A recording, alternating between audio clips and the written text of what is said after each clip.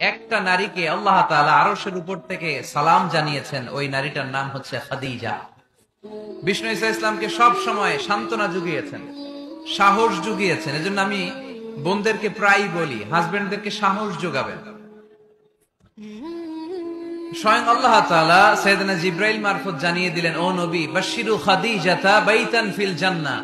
আপনি আপনার স্ত্রী খাদিজাকে এমন একটা জান্নাতের ঘরের সুসংবাদ দেন যেটা মনি মুক্তা, ডায়মন্ড, সাফায়ার স্টোন দিয়ে তৈরি, যেই জান্নাতের ভেতরে কোনো আওয়াজ নাই নয়েজ নাই, চিৎকার নাই হই হুল্লোর নাই। সুবহানাল্লাহ পড়েন। এর কারণ? এর কারণ সৈয়দনা খাদিজাতুল কুবরা রাদিয়াল্লাহু তাআলা আনহা বিশ্বনবীর জন্য ওনার ঘরটাকে এরকম ঠান্ডা পরিবেশের করে রাখতেন।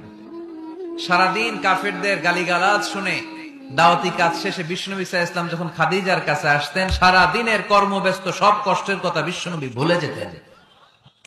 এমন ঘর বানিয়ে রাখতেন হাজবেন্ডের জন্য, ওই ঘরে ঢুকলেই একটা ঠান্ডা, হিমেল বাতাস বিশ্বনবীর হৃদয়টাকে জুড়িয়ে দিত। এজন্য ওনার উপহারও হবে জান্নাতে এমন ঘর যে এই ঘরটাতে ঢুকলে হৃদয় ঠান্ডা হয়ে যায়। ওখানে কোনো আওয়াজ নাই, হট্টগোল নাই, গন্ডগোল নাই। আমার মায়েরা, বোনেরা যাদের কানে আজকে আমার মাইকের আওয়াজ যাচ্ছে। আপনাদের কাছে অনুরোধ করব, আপনার হাজবেন্ডের জন্য ঘরটাকে এরকম করে রাখেন।